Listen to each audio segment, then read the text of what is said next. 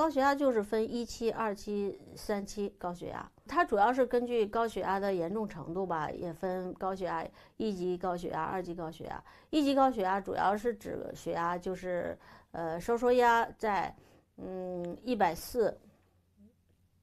一百四到一百，呃，一百五十九，然后低压是九，低压是九十到九十九，这个是叫一级高血压。然后二级高血压就是一百六到一百七十九，呃，舒张压是那个一百到一百零九。呃，三级高血压就是指那个收缩压超过一百八了，那个舒张压超过一百一了，这个就是三级高血压。嗯，二级二级只要是二级高血压，多次测量二级高血压的话，就有用药的指征了，就有用降压药的指征了。